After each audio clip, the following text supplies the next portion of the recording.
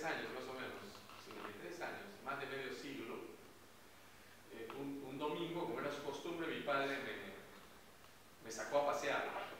Tenía cuatro años más o menos. Y tomamos un, un bus color gris en, en Breña, en Chagre Colorado, donde vivíamos.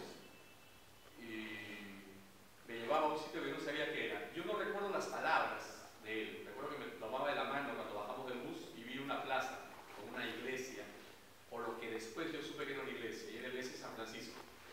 Y él me llevaba a su casa, a la que había sido su casa, en esta misma manzana, a la vuelta, en la calle de la Soledad. Por primera vez vi un callejón de un solo caño desde arriba, por primera vez vi un tren que pasaba, y luego supe que mi padre venía de niño a este lugar, cuando era estación de trenes, a recibir a los viajeros que venían de la sierra.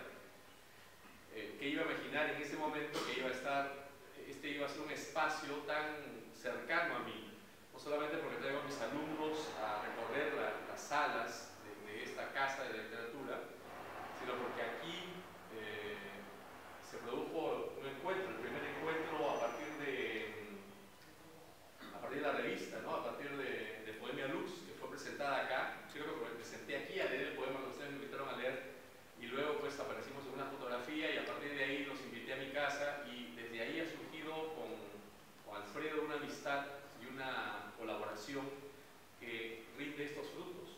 Es decir, este, editores hay muchos, pero con el cuidado y con que se hace el trabajo, la dedicación y la entrega, junto con Roy que está acá presente, yo quiero agradecerles a ambos el, el esfuerzo de haber tenido el libro a tiempo.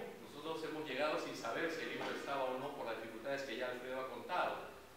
Estos feriados largos son realmente terribles porque ninguna dependencia del Estado trabaja ¿no? Y, y, no teníamos el, el, el ISBN y no teníamos una serie de cosas para poder imprimir. En realidad, que en este espacio, por enésima vez me siento aquí a, a presentar amigos, hace un año estuvimos con Alessandro Artanes presentando a mi traductor este, brasileño y en realidad en este espacio hemos, hemos vivido muchos momentos importantes pues ahora lo comparto con, con Giovanni eh, cuando yo tenía 10 años vamos a adelantar la historia eh, leí en una enciclopedia que me regaló una abuela un poema que yo no entendí se titulaba Alñaga y lo firmaba un tal José María de Heredia o Heredia Heredia, nada más sin D, José María Heredia, ¿no? Y estaba junto con Sor Juan de la Cruz, junto con Amado Ner, una serie de poemas que había en un tomo de, de literatura y de poesía. La, la, poesía para mí era todavía lejana. Pero me quedó eso, al Niágara. ¿Cómo, ¿Cómo, alguien le puede hacer un poema a un cubano, le puede hacer un poema al Niágara? Luego en el colegio, lo único que supimos nuevo era que existía José Martí. Cuando me mudé a, la familia se mudó a Maranga, la calle de la espalda, la subsiguiente, se llamaba José Martí. Así que era lo, más cerca que estaba yo de Cuba, hasta que, llegada a cierta edad, decidí emprender el conocimiento de las naciones americanas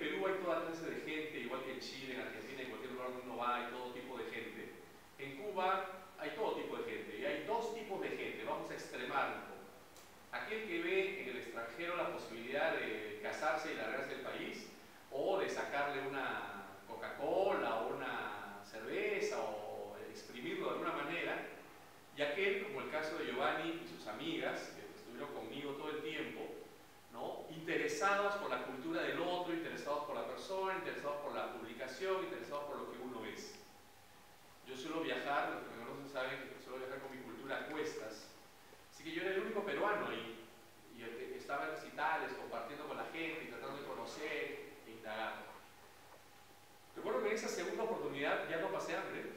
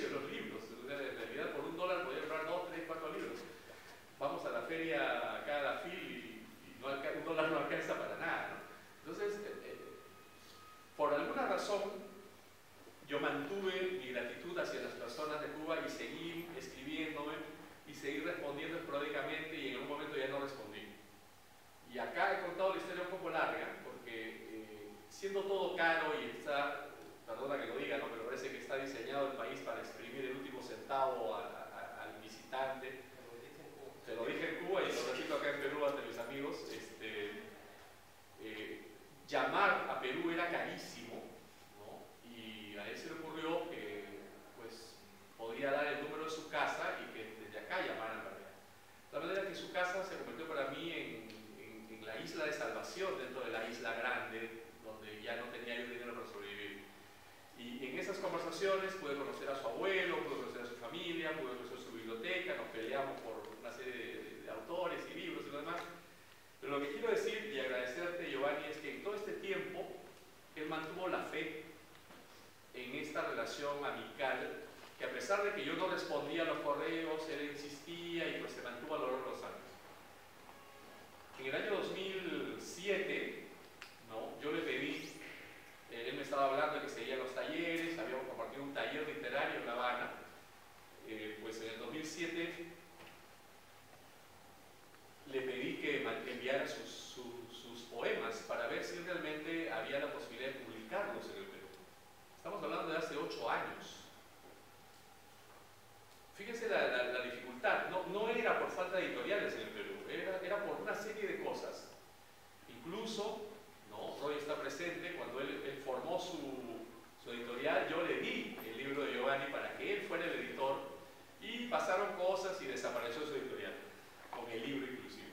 quizás fue bueno eso hoy, porque no hubiera habido, no hubiera habido tiempo para madurar este libro. Este libro que fue madurando en cada versión, ¿no? Y, y este libro lo ha leído Renzo, que está aquí presente, lo ha leído Alfredo varias veces. Yo ya me he olvidado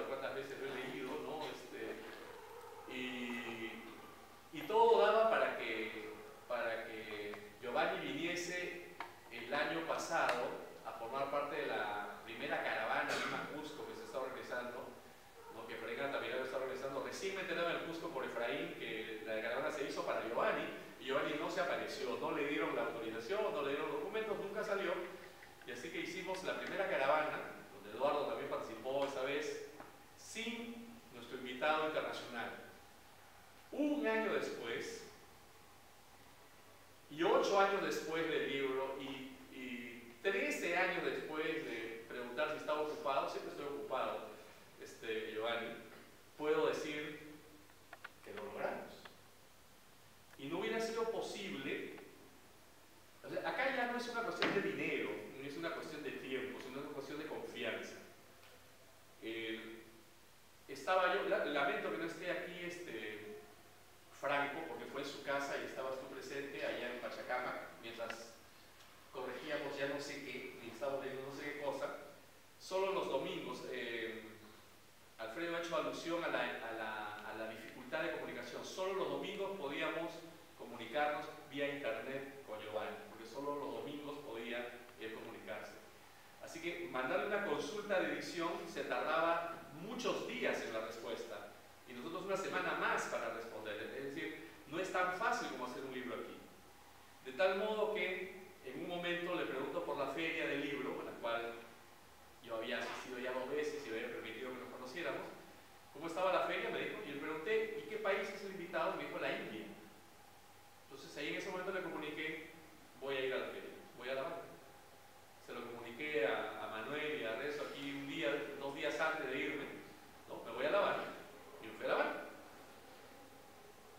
Dije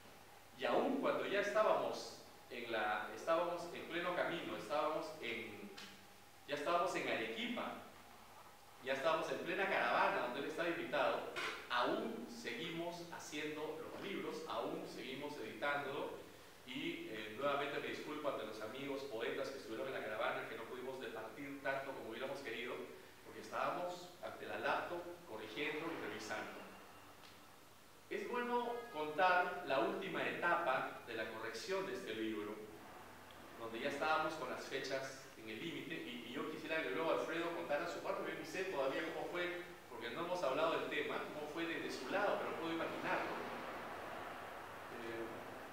Eh, el Cusco por esos días se puso imposible, ¿no? Fiestas patrias, no había sitio, etc. Y caímos en un antro, que no voy a mencionar para no hacerle propaganda, en el centro, que decía que tenía wifi, porque siempre hemos pedido un lugar de wifi para poder trabajar.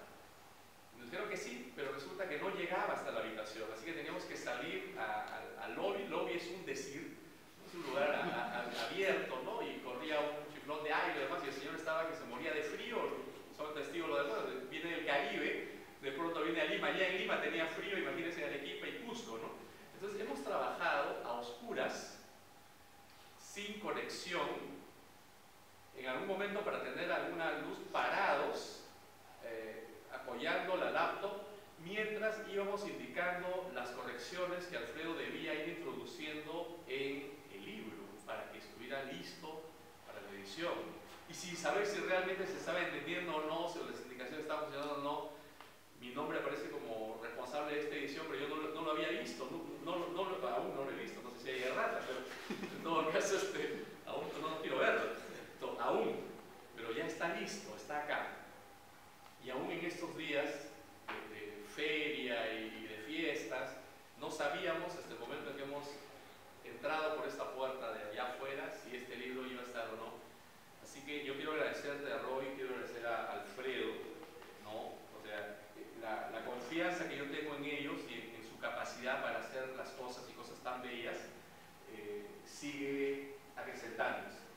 ¿no? Es decir, eh, yo puedo decir que Alfredo es mi editor, toda seguridad, y que, y que, va a seguir editando cosas mías porque le tengo confianza. Es como el médico de confianza, el médico de cabecera. Uno sabe que va a encontrar la manera de resolver el problema.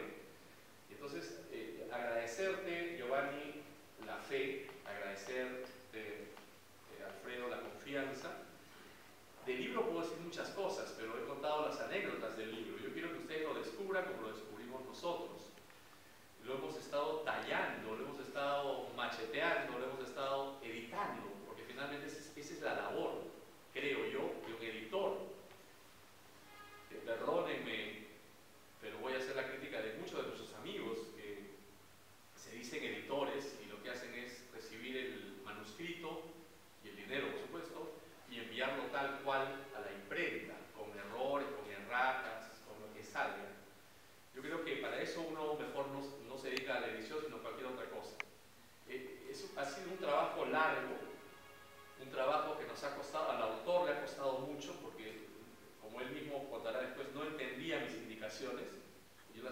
y él habla cubano, entonces no siempre nos entendíamos, no siempre entendía qué cosa queríamos.